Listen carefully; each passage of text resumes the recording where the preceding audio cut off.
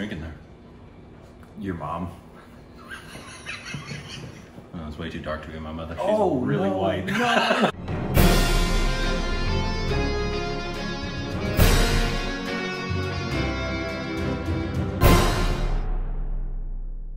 Hey, welcome back to our stupid Rex. He did some Korbin. I'm Rick. And you follow us on Instagram, Twitter, more juicy content. They so paper, juicy. camera, the King Squad. Follow channels. Right down there. Bang, bang, bang, Just bang. like on a golf course. The links. Link. That's the first thing you think of is golf course and Link. Sausages. I think of uh, Zelda. Link is the guy's. Anyways, that's not what this is about. Today we are doing a movie review of our second Assamese film. Oh, I thought it was their second film. I was like, wow, I had a dream we saw a lot more than two films. Is every time you say Assamese, do you think Passamese, Passamese, Passamese? I don't know. No, no. It's just exactly what I think of. Yeah, that's just it. Anyways, uh, but we reviewed uh, Village Rockstars because that was highly, highly, highly, Highly highly, requested. highly, highly, highly requested. Um, last time we did um, the uh, Am- Aamis. Aamis, Aamis, Yeah. right? Mm-hmm. Um, but this is uh, directed, written, produced, Yeah. Cinematographed, Costumes, edited, uh, production designed, uh, and probably acted. Oh, I know her family was in it. It- Did you see all of the Das names in the credits? It's all her family. I was, I was like, this is just the family got together and made a movie. which is Fantastic crazy. and crazy. um, anyways, uh, so Village Rockstars. If you haven't seen it, it's 127 minutes. That's like nothing. Yeah. Just go watch it. Yes. Even if you don't enjoy it, it's 127 minutes. Yeah. Come on. go watch it. Go watch it. Anyways, uh, 100% spoiler review, just because that's how we like to do things. Yeah. Um, I but like to spoil you. Rick, initial thoughts. I got a paragraph. Mm, Hey, isn't that exciting? it's exciting stuff. A Florida Project esque Exactly what I thought of. coming of age story Yep. that allows itself to do what too many films don't know how to do, and that is to simply just be. Mm-hmm. A slice of life you're meant to take little slow bites out of and enjoy. 100%. Right? Yeah, Yeah. and, and, it, it was one of those things. You just you're just just watching this little girl. It's felt it's almost like a documentary, right? it felt Yeah. very documentary. Very And I did hear that it was basically two people. I think she had a sound person and her holding the camera. Wow. Wow. That was all that was there. wow. if that's true, that's really, really impressive. Which is insane. Yeah. To make a film this way is impossible. Yeah, Especially this well. This well, this good. Like when I saw the credits rolling up, and I saw, I mean, I knew the writing and the directing and all of that, but then literally like costuming, and then so like 15 different hats being worn just by Rena, right? Is that how you pronounce it? Rima. Rima, R I M A, right? Just by Rima. But then 75% of the rest of the crew credits are same last name. Yeah. Dots. So yeah, it was just a straight up family affair, but for such minimal amount of crew, uh, cinematography was insane. I mean, it helps. Obviously, it's like if you film a, uh, a film in Ker- Kerala. Kerala, right? You're gonna You're good. It's a Benefit from beautiful country with beautiful waters, beautiful Right. sunsets, but it's like it, it looks like some of the best cinematography we've seen, and it's probably her holding the camera. Right. just going around, and it was very, and I, you know, I'll probably use this all of the time because it was part of the template and the framework of shaping Indian cinema outside of the Bollywood expression, and that is so much of this reminded me of the same My dog is barking in my template as Satyajit. I really did just freeze and say that. all. Okay, go ahead. um, very because this Satyajit Ray, I will constantly refer to any film that feels very fly on the wall, um, doesn't uh, doesn't really take you through a, def- a, definitive storyline as much as just letting you through an experience and an emotional state. Yeah. Um, and very much in the same way, because one of our we refer to this film a lot. Our, one of our favorite films is The Florida Project, uh, and this had that because of the kids, you know, that Yeah. focus on. And I actually, the one thing I would, this is me being my armchair quarterback, I would personally, probably, if I had been asked, call it Village Rock Star singular, because I felt it was far more about her, her than it was everybody. Now I believe this was done Maybe she was saying just the Village Rockstars are the entire the community. entire community, and that's clearly the dedication uh, at the beginning of the film. You Yeah. know that this is this is this is my home. These are my people. Yeah. So it's for all of them. But from an audience standpoint, I felt it was really it was just it was just her story. Oh, 100%. And if this girl, Isn't she beautiful? yeah, she's not an actress. She so was- she's related to, obviously, I'm assuming, uh, Rima. Yeah, because Um, it's Bhanita Das. I don't know how, but to get once it, we've said this in a few things, to get kids to act is not an easy task. And to act well. especially especially kids who potentially i'm not saying it's true who potentially have not been around a camera. Yeah. and need to be natural around a camera because what happens when anyone's put in front of a camera is they start to not be themselves. Mm-hmm.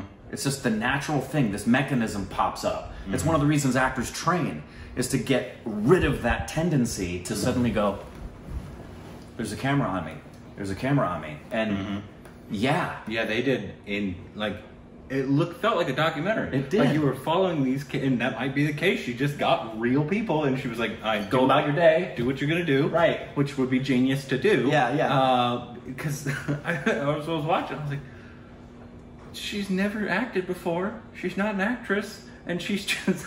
just just be like even even this the one moment of when they're doing the ceremony for her after she's gotten her period mm. which was like heartbreaking and like. i know like well so frustrating and it, there's, we could talk about that in a second because I have I have a there's a couple of messages in this that Yeah. for me I had to push and pull on, but mm-hmm. there is that moment when they're putting the the forgive me for not knowing what it's properly called, but when they're putting the Red. the red on her her head and they're pouring water on her, it looked the proximity of the shot was super close, mm-hmm. and it looked like she had no idea there was a camera there, no idea there was a camera I wonder how big her. It must not have been very big. It must have been a, a small. Um, I don't know what. I would love to know her actual budget for this. And what what equipment was used? Would very much love to know that. that would be really interesting to Yeah. know if it was done like uh, basically an uh, what is it called? Guerrilla filmmaking is that what they call Yeah, guerrilla filmmaking. Guerrilla filmmaking is Yeah. just you and a camera going around.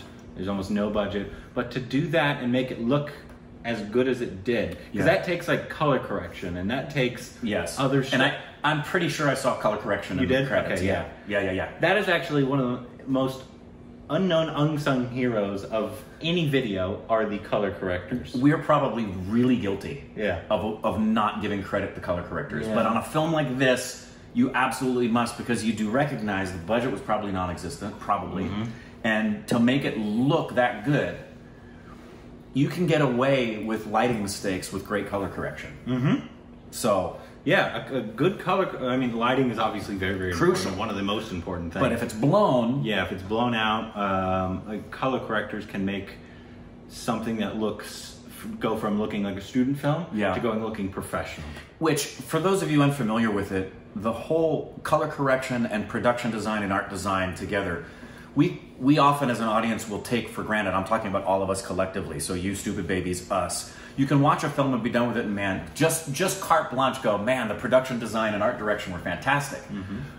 Forgetting that every single frame of film has a level of color correction to it, so there's a fluidity mm-hmm. to the aesthetic you're getting visually, a template. Because just like you have filters, for example, if you do a, camera on your phone or you do an Instagram post and you can choose filters, if, if you don't have color correction, it's obvious. It looks like, okay, that was shot on a different camera, that was shot with different lighting in the same room, because one scene could have taken all day to film, but it's only one minute on camera. Mm-hmm. And the lighting's different, and people moved, and the shot. So, yeah, it Yeah. was top notch. That's why this is so Top so freaking impressive um, how it did. Yeah, and that, that the whole the whole part with the when she got her period. Yeah. it was so when I was like, okay, she's becoming one. Obviously, she, I they were telling you know how like I'm guessing rural villages are when Right. when What like, they they said it multiple times. You know, don't hang out with boys. Don't all those different trees. times, yeah, all that kind of uh, stuff that we are totally unaccustomed to here in Right. America. Um, but Pun intended? Yeah, Unaccustomed. unaccustomed. Thank you very much. And, and obviously, a lot of parts of India are as well. Yeah. That like if you grew up in Mumbai, it's probably not definitely not the same as if you grew up in a small little village like this. Right. But uh, they kept do, throwing in stuff like that, and you just felt so bad for this little girl that just she just wanted to hang out with her friends, who just happened to be guys. Boys. She liked to. She'd rather go play in the mud. Ashley was like that. She'd rather go play in the mud than go have tea. Why you? Why are you Like talking that. like that? That's the Why way you she it. talking like that? Ashley, ready to go play in the mud. Why is did you turn into an? I don't know. Anyways, Play in the mud. um, but yeah, the uh, what was I saying? Mud. Yes. Um, and then when it got to the part where she got her period, Yeah. um, and then she was doing all this stuff, and she was, you know, becoming a woman, and she did all this stuff, but you could tell she didn't actually want to do that. But She then was just also allowing them to do the, it. Like the the women brought her to a, like what did they say? They said she she's become a woman, or I don't remember what mother. the line was. Yeah, yeah. It's, there was something obviously signifying the fact that she'd started getting her period. yeah, but they were like dragging her to her, Right. and, and stuff like that. It was just so difficult to watch at, at certain times because I'm like, okay, why are you why are you doing all this? And I had, that's where I said I have the push and pull because, on the one hand, I do recognize this aspect, which is a whole other thing we could talk about with the film, which is places in the world that weren't deeply touched by the Industrial Revolution and then the technology revolution, but particularly the Industrial Revolution. Places that were hit by that, which were primarily cities, uh, lost much of that tribal culturalism and it became more of a collectivism because of the nature of city life and industrial living. There's pros and cons to that because on the one hand you can say you got rid of some things that you don't need to be doing because many times it falls into the realm of something superstitious and empty religious activity. However, the flip side of that is we miss in cities and we miss in industrial worlds the aspect of rites of passage. And I'm really big on rites of passage, eh, depending on how they're done. Like I, you know, I pers- I love the idea of got cultures. Yeah, baby. I love I love in cultures where they celebrate women having their menstrual cycle and becoming a woman and like they're treated uh, with this celebration in the community. And it's a wonderful thing where the boy has become a man for the you know the, all those rituals where they affirm that. Because in industrialized city places like here in america the rites of passage there are none it's like okay did you lose your virginity and get drunk Well, and there's yeah, there's basically 18. You're Right. You can vote. Yep. I guess if that matters if it's an election year. Yeah. And then 21 is probably the biggest. that's the big one Yeah. Just because we in America just like to drink. right to drink but it really is it's a sad thing because it's it's they And both have their pros and cons they both Obviously, if you're cons in the Jewish community as well, you got different Bar mitzvahs and bat mitzvahs. If you're in the Hispanic community, correct you got, have uh, you know, quinceañeras, quinceañeras. uh, for, for the women. Yeah. but yeah, there's not not too many. But yeah, so it was it was very interesting to just watch, and that's all you could do in this film is just watch. Just watch. And they just kind of they let it. You're gonna just watch this. And Yeah. You're gonna watch this little girl grow up. Yep. And then find out I- who she is. And I, I loved, and I think it was intentional, which any of the intentionality in this was deeply subtle. It's very possible you could assume an intentionality by the writer director and think to yourself, oh, clearly that's what you were conveying. And you're like, no, I didn't mean that, but I'm glad that's what you took from it. And that would be, at the end, even though uh, she had been told, you know, don't play with that and don't do that, I loved how two things toward the end of the film, she is up in the tree with the guys. and she's not getting in trouble for it. Mm-hmm. And there was something, I could even get emotional about it. My Probably one of my favorite moments in the film. Because you're wondering, when it gets to the end, you're like, what about the guitar? Mm-hmm. Right? You're thinking, we're not going to leave the guitar alone. There's got to come full circle on the guitar. Mm-hmm. And to see the mom walking back with it and the smile on the face of knowing she's able to do this and that's that's a big deal for her daughter and then the kids dancing and celebrating. It's just just there's so much i could say about that. I'm sure you can too. That's probably my favorite moment in the film is that that moment of the mom coming back and she has this look on her face, that's very clear that for all those other moments and things that she had, where she's the very stoic and serious, and we got to survive, the mom uh, was was clearly happy to have achieved what she did. For Yeah, I did kid. like the relationship with the mom. For the most Yeah. part, uh, at, at the beginning, you thought it was going to be a little stern, Mhm. but then it, it, it, showed that that was just that situation, and then she was very loving. She Very wanted, loving. She wanted the best. She just didn't have a lot that she could give her. single mom. Um, and so you, I like, I love that relationship that the mom, even though they were very, very poor, didn't have a lot of means, she still wanted to get her daughter what she wanted. Mm-hmm. Yeah. Uh, it was Yeah, it and was a beautiful and, relationship. And the, in getting it for her, this is the part that gets me emotional. In getting it for her, she not only was giving her something she wanted, it was continuing to allow, and this is a powerful statement, continuing to allow her daughter to dream, Mhm. even though many of her dreams had been killed.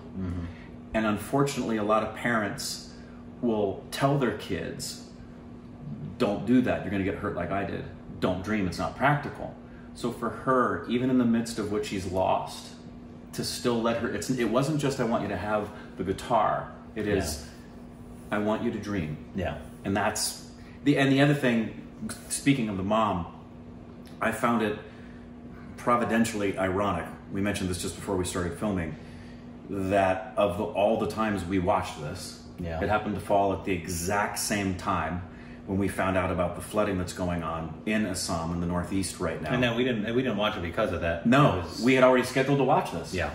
Uh, and it just happened to fall on that. And it actually, in the film, it talks about the flooding. Mm-hmm. Her dad, the husband, uh, drowned. Which, which apparently happens every year. Every year. floods, but this, All the time. This time, what 50, 50 plus people? Last count I heard, it was 50 when I woke up, and now it's 70 something. Mm-hmm. And it's it's this is a whole other subject, but I find it aberrant, and I I cannot comprehend why when I went to the Telegraph, which is a big Indian publication, and I went to the Times of India, uh, it was basically a sub story. Uh, Kanye West not running for president took higher precedent on In the Telegraph. Yes. And for the Times of India, they relegated it to the very bottom of the feed and just said photos. They, they had they had other superfluous ridiculousness at the top when literally millions of their citizens are in the midst. And granted, it may have a commonality to it, but that's been a repetitive thing. When the uh, cyclone went through Bengal, there was this lack of attention in the media of paying attention and like actually covering Just the because story. they happen so often? I don't know if because that- of flooding? And mm, that's I don't think Because it's like, obviously, if a city floods, that's a big deal here in America. That's what I said to Indrani because she, I told her, and she said, "I'm finding out that my neighboring brothers and sisters just north of me are having this problem from my American boyfriend in Los Angeles. He found out before I did. I was just watching the news downstairs, and there was nothing on, and got a lot of messages from stupid babies. And it isn't just because it's so frequent. Because I said to Indrani, I said." If we if we had a, a rain or a flood, it, it rains in Seattle all the time. Mm-hmm. If we had a rain that displaced a few million people and killed 70 something people, it would be main news here.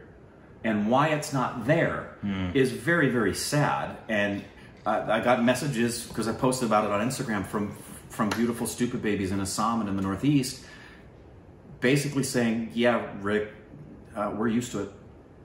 We're used to being ignored. Well, not here, guys. That's the that's the northeast, right? Yeah, the Northeast. Not not here, guys. We love you. You've been on our hearts all day, um, and give us more information. We feel really powerless. We wish there was more we could do for you, but know that we're not we're not ignoring it.